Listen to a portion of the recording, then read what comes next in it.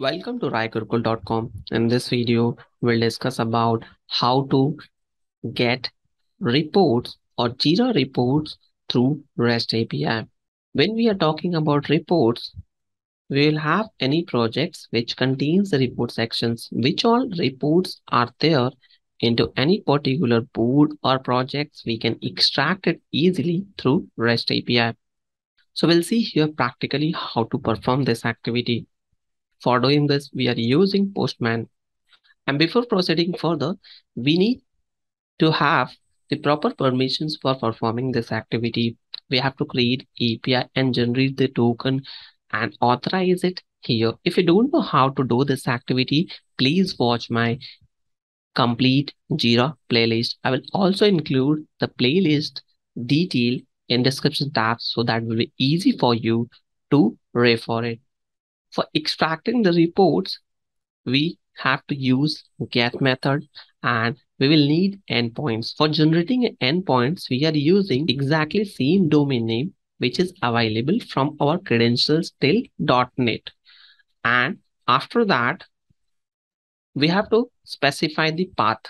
So path here, we are using REST, Agile, and after that 1.0 and then the board. So board ID. So this is my board ID. So how you will get it this board ID? So for getting this board ID, just write till here and get send command. For which board you want to extract the detail, you can specify it accordingly. So as of now, I'm using BAS 13. So BAS 13 is here. So let me see where is batch 13.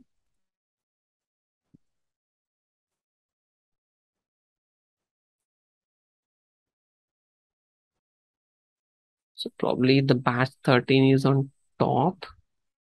This is not team mode.